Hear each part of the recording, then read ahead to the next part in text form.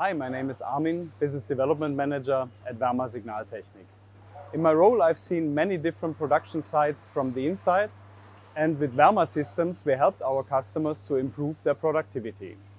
Today, I would like to show you how you can use our production monitoring system WeASSIST to create a virtual digital twin of your production site.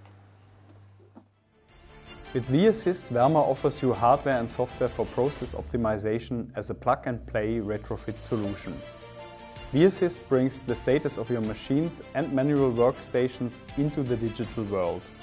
You identify faults, receive analysis, and generate improvements for your processes.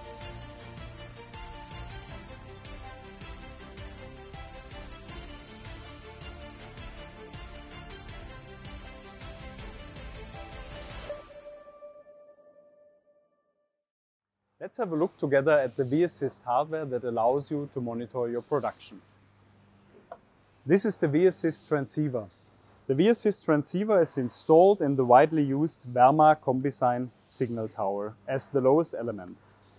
It's monitoring the 24 volt signals in the terminal element, representing the most important machine status and status of your manual workstation. This information is then transmitted via industrial radio mesh network to the WeASSIST gateway. This is the WeASSIST gateway.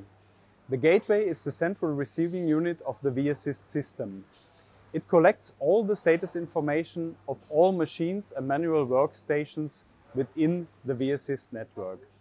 It then makes the information available for the WeASSIST software in the Microsoft Azure cloud. Werma WeASSIST is a cloud-based software running on Microsoft Azure. It can be easily accessed via every modern web browser or via the native apps for iOS and Android. The use of the Microsoft Azure Active Directory allows for easy and safe login into the system, also following IT security rules of your company. Individual dashboards now give you the possibility to view the virtual digital twin of your production site. This includes manual workstations, machines, and logistics.